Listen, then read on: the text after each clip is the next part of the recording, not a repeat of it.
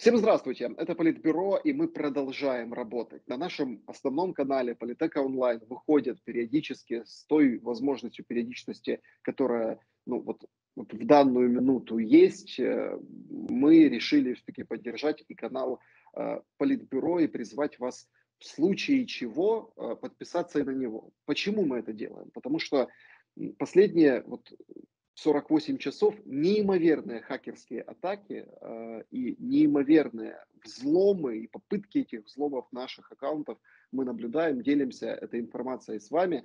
Э, почему? Не потому что, чтобы вы нас пожалели, а потому что вы знали о существовании еще вот этого канала, Политбюро. Если что-то вдруг пойдет не так э, с нашим основным каналом. Наш традиционный э, и, ну, наверное, очень важный и нужный разговор – с Гарри Табахом сейчас будем начинать. Гарри, здравствуйте.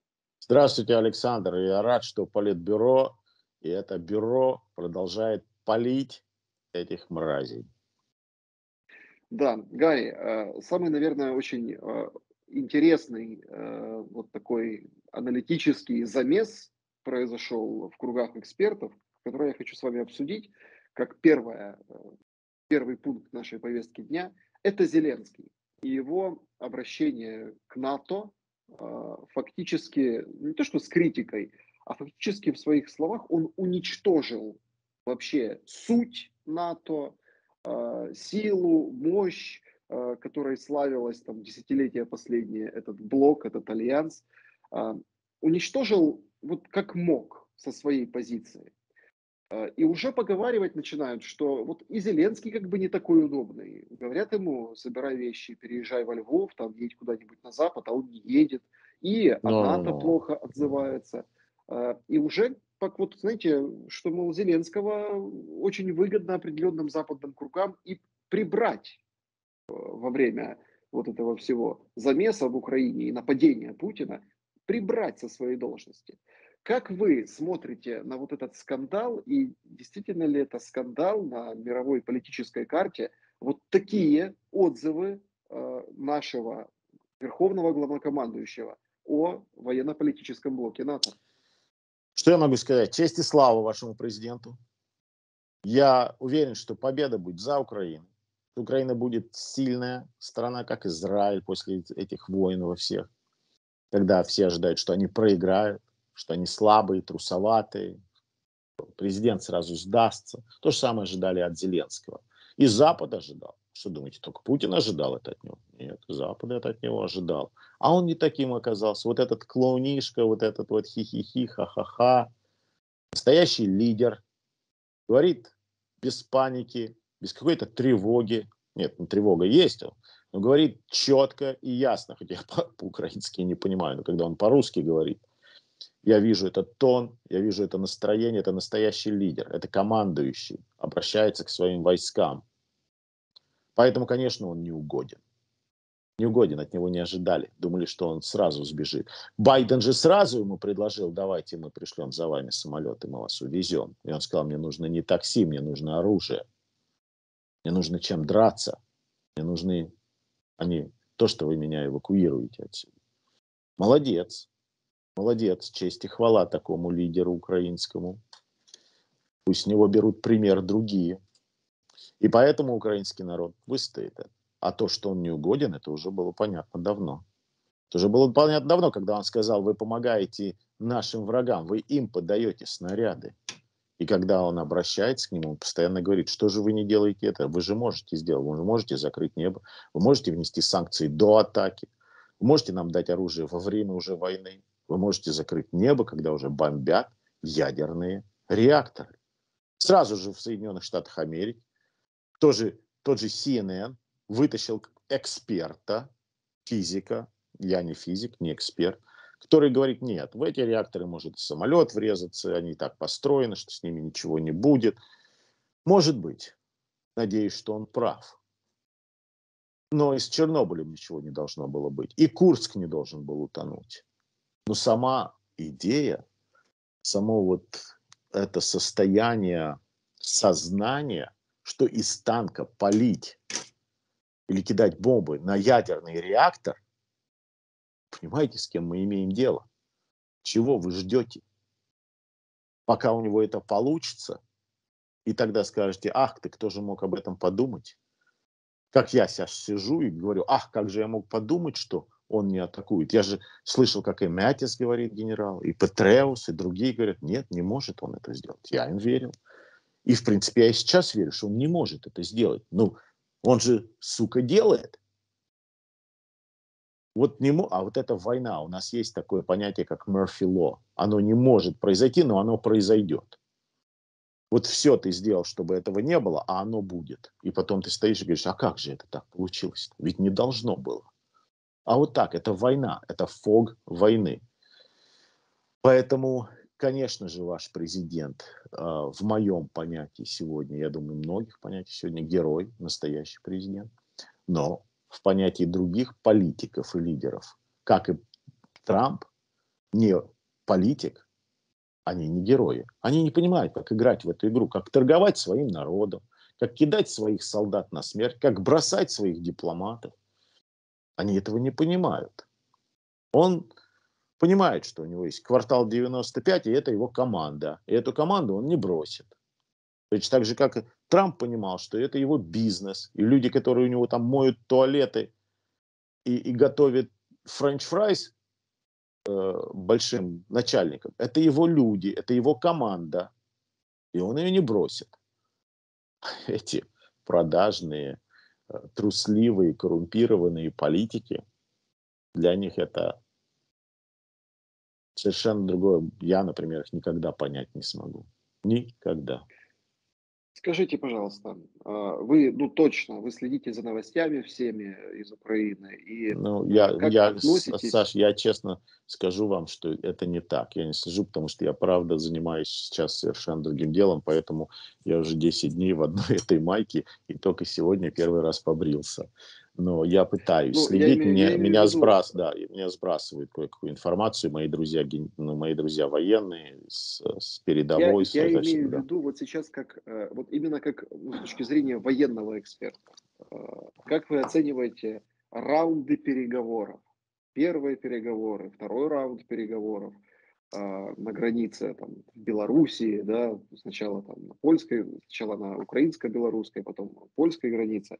А, вот мы ждем третьего раунда переговоров. Казалось бы, договорились о гуманитарных вот этих зеленых так называемых коридорах. Не все идет гладко в Мариуполе. Тем не менее, какие-то есть договоренности, что-то, видимость, картинка вот это вот делается. И в этот момент выходит Зеленский и говорит, я нормальный мужик, сядь со мной, поговори. Не как вот там 5 метров, а вот давай встретимся, обсудим.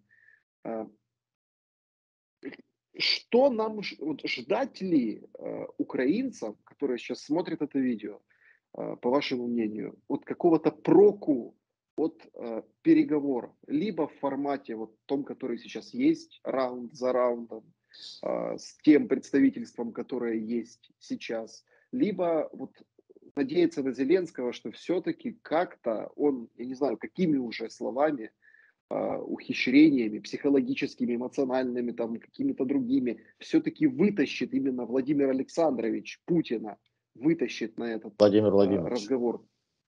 Владимир ну, Владимирович. Ну, что, Зелен, что Зеленский а, вытащит Владимир Путина да, Путина. разговор, да. А, э, я не знаю а, в этом отношении. Я знаю только одно, что переговоры, сами переговоры, какие бы они ни были, это все равно хорошо. Есть причины, почему. А, дает передышку какую-то, э, дает надежду какую-то. А, я считаю, что переговоры надо вести, а, о чем-то договариваться надо, но верить не надо и надеяться не надо. Мы разговариваем сегодня с крокодилом. И мы ему говорим, не кушай лягушек в этом болоте, кушай вот траву, знаешь, вегетарианцам лучше быть. И крокодил сидит, пока он не проголодается, а аппетит у него приходит во время еды. И он съедает всех этих лягушек, которые пытаются с ним говорить. И эти, или эти, э, как, как у вас вот эти птицы, звезды вьют на красивые такие. Аисты, белые. Да? Аисты. Да. Он их будет кушать. Какие они красивые бы не были, или как как бы они семьями не жили красиво на, там на, на ваших э, столбах. Не получится с ним ничего. Но э, ваш президент показывает что вы цивилизованный народ таким образом. Я э, не был уверен в его лидерских качествах, я не был уверен в его, в его а, аналитическом мышлении или стратегическом мышлении, когда он стал президентом, как и с Трампом. Ну, а у них нет опыта в этом, это актеры по, по, по своему. А, так а, а, я сейчас понимаю, что у него это все есть и довольно-таки а, хорошо развито, ну, в моем понятии, может быть, в сравнении с собой, да, а, и то, что он смелый человек, и то, что он показывает, что он цивилизованный. Он говорит, я готов на переговоры идти. Но переговоры с кем? С этим крокодилом? Я думаю, что он понимает, он не глупее меня. Наверное, умнее все-таки. Что с этим крокодилом он никогда ни о чем не договорится. Но показать миру, что он цивилизованный, и дать какую-то передышку, создавать какие-то коридоры для гражданских. Опять же, мы помним, коридор был создан в Иловайске. И что было? Они, они обманули. Я еще тогда, я помню, призывал российских офицеров. Я говорю, ребят, вы что, с ума сошли? Вы же служили вместе с ними. Вы же как бы одно училище заканчивали с ними. Вы зачем их обманули? Это для чего вы это сделали? Это же ни чести, ни славы в этом нету. Тогда деритесь с ними. Что же вы их заман, заманили туда? Они вам поверили. А сейчас опять поверите с этими коридорами и со всем. Я им не верю. Ни одному из них не верю. Э, была бы моя воля, сам бы с них погоны содрал. Но э, позорят это. Поэтому понимают, что эти переговоры это все временно. С крокодилом не договоримся с этим психопатом не договоримся. С этим параноидальным человеком не договоримся. Тем более, если он чувствует, что он проигрывает. Тут переговоры не пройдут. Если он чувствует, что он выигрывает, и вы уже стоите на коленях, тогда он как барин, царь придет и скажет, ну вот я добрый царь. Нате, поцелуйте, дайте клятву мне, и я вас прощу, может быть ну, будете у меня рабами. Ну, жить вас оставлю, жизнь вам оставлю. Не думаю, что украинский народ таков. Не думаю, что Зеленский таков. Не будете вы стоять на коленях, не будете целовать его кольцо, не будете давать присягу. Думаю, умрете стоя. Надеюсь, что нет. Надеюсь, что они умрут. Но я понимаю так, что и я это говорю по отношению к переговорам что в этих переговорах они понимают, что украинский народ не встанет на колени, не будет целовать. Если уж они просто зальют вас кровью, закидают шапками и телами молодых этих так называемых солдат, рабов, то да. Но этого тоже не будет, не верю. Потому что, опять же, они воюют за Путина и за его какие-то фантазии больного человека. Они рабы.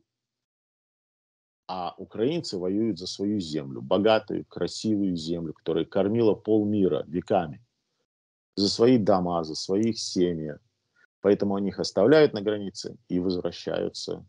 И идут в территориальную оборону, идут в военкоматы и требуют оружия. Вот, и когда Запад это осознает и поймет, я думаю, уже тогда будет легче. Вот я надеюсь, что с каждым днем все-таки давление будет на всех, включая на наши власти. Что это будет. Как наша власть не пытается отвлечь, включая то, что дает 11 миллиардов долларов Ирану. Не, не, не Украине, а Ирану чтобы отвлечь вот внимание от этого. Но я не думаю, что уже можно отвлечь, потому что в Америке все люди а, смотрят сегодня на Украину. Да я думаю, весь мир сегодня смотрит на Украину. Весь мир смотрит на ваших воинов, доблестных, доблестных воинов, подчеркиваю, на вашего а, а, настоящего лидера, президента, который показывает настоящие лидерские качества. И весь мир восхищается вами. Теперь осталось, чтобы весь мир включился в драку. И не дал, да. и не дал, чтобы Украина одна защищала весь мир, а чтобы весь мир защищал Украину.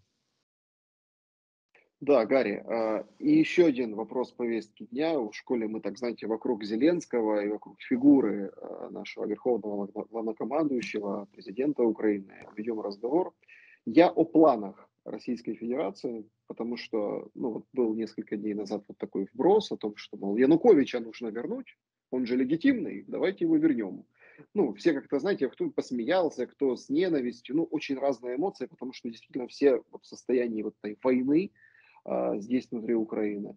Но ведь, по сути, там некоторые здравые голоса говорили, что, извините, но Янукович, он в заложниках 8 лет. Он что ему скажут, то он и будет делать. И тут выходит с интервью российским медиа Николай Азаров и говорит о том, что он, конечно, не напрашивается во власть украинскую, вот эту подмосковскую, но он богат опытом, может поделиться.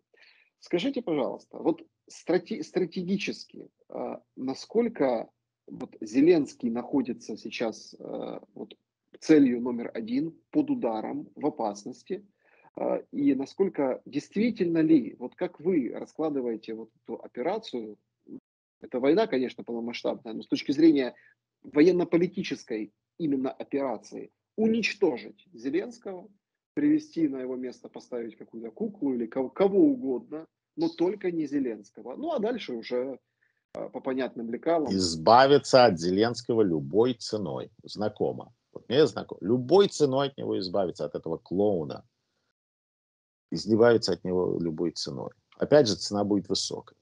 Просто я думаю, что сейчас нарвались не на тот народ.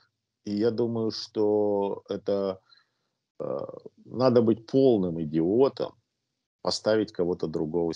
Там, ну, мои родители были врачи, мой папа был хирург. Вот, допустим, мой папа делает прекрасную операцию. Кто-то подходит к пациенту и говорит, нет, этого врача мы сейчас забираем, он нам не нравится, национальность не та, пятая графа не та. Да? И вот мы поставим нормального, нашего, русского, а ты, а ты сидишь, говоришь, подождите, этот русский уже делал эту операцию, и он, блин, убил пациента, и я не хочу, чтобы он давно операцию делал. Верните мне того вот плохого. Он, он хорошо делал. Он говорит, нет, вот этот будет делать. Как вы будете, как пациент или как родственник этого пациента? Вы же бунтуетесь опять. Скажете, я же тогда его уволил. Это может относиться к юристу, к инженеру, кому угодно. Я просто врачей ставлю, потому что я из семьи врачей. И я помню, как э, по пятой графе мой папа переживал, что убирают хороших врачей, да, дело врачей шло. Мой папа вырос в этом. А этих, а этих бездарных, пьяных ставят делать операции над живыми людьми. То же самое. Что они вернут Ян, Януковича? Он уже один раз сделал операции, или несколько операций, когда вы взбунтовались сказали, нет, мы не хотим этого врача, дайте нам этого. Этот тоже не очень понравился, дайте другого. Это тоже плохо нравится, но когда открылось кровоизлияние, вдруг он собрался и начал, и начал делать как, э, как положено.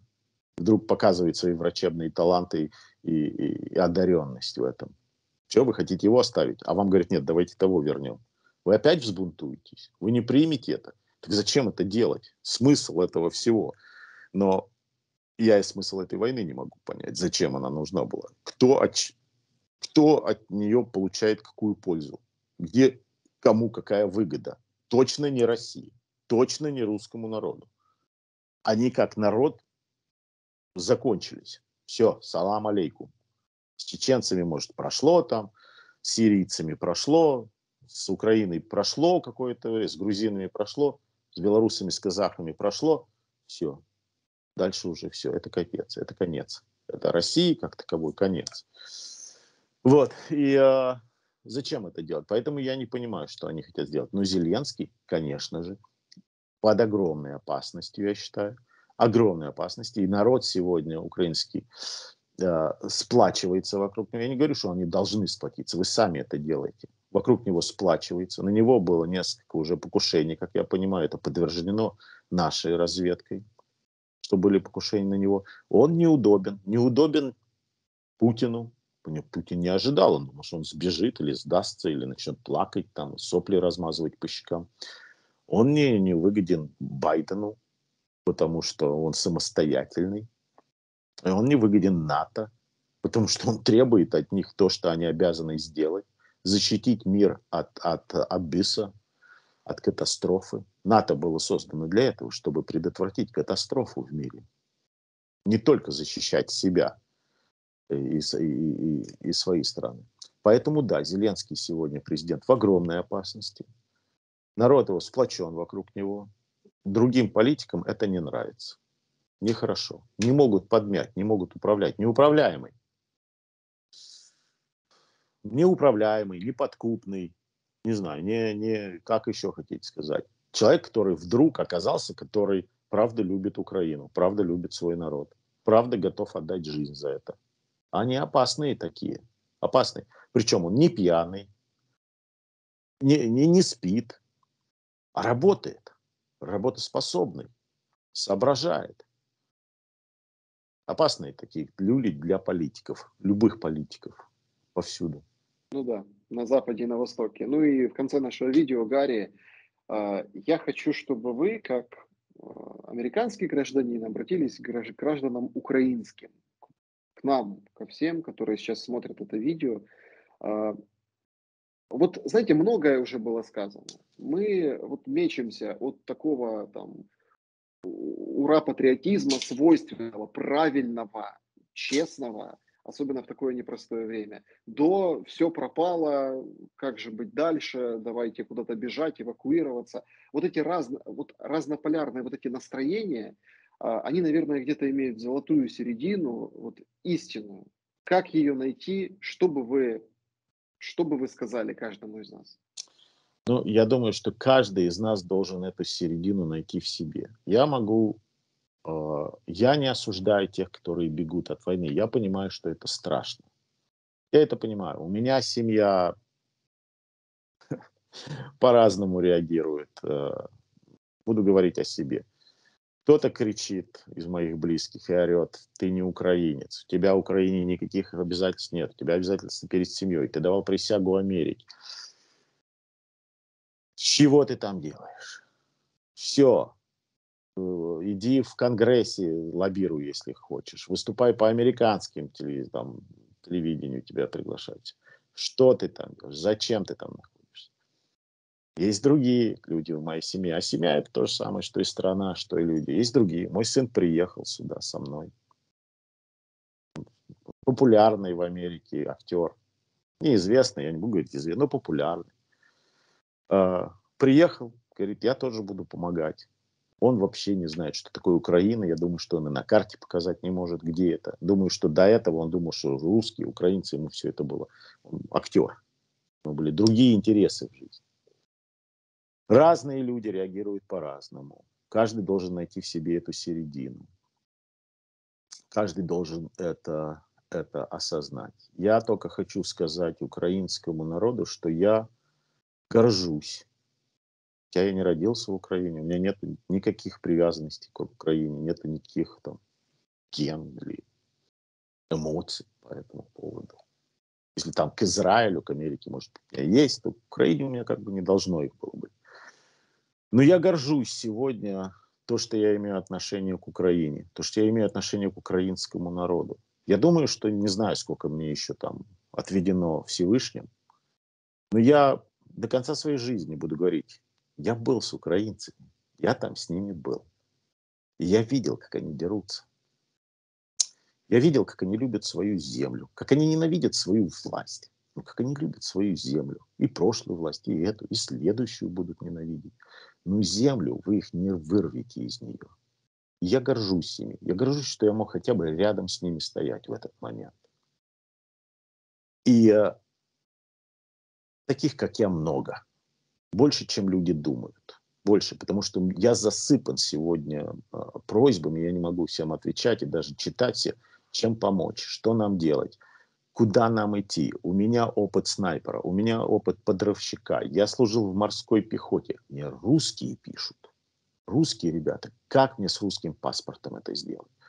Как что? Много таких есть людей, которые сегодня понимают, что Украина на правильной стороне истории, что Украина сегодня это флагман независимости, свободы и любви. Любви, потому что столько любви, сколько я сейчас вижу, а, от украинцев друг к другу. Я такого никогда нигде не видел. Может быть, в какой-то маленький период 11 сентября в Америке. Поэтому я горжусь, что я часть Украины, и я навсегда останусь ей навсегда останусь. И из меня теперь Украину никогда не вырвать. Поэтому, братцы украинцы, победа будет за вами. Вы уже победили. Весь мир это видит. И все понимают это. И все на вас смотрят. И про вас будут рассказывать легенды. Много-много веков. Вы не рабы. Вы свободные люди. Я благодарю вас. Гарри Табах был э, на нашей связи на канале Политбюро. Я призываю всех подписываться на этот YouTube-канал тоже. Вот потому что это важно. Особенно время сейчас непростое. Я уже упоминал, что мы пережили очень серьезные хакерские атаки. Ломали наш аккаунт как могли. Заходили нам с нескольких путей имеется в виду э, Политек онлайн, но мы все равно стоим, мы все равно выдержали эту атаку, и мы продолжаем работать и призываем вас немного диверсифицировать свои подписки. Будьте вместе с нами, и мы точно выстоим, если все вместе. До скорого. Слава Украине!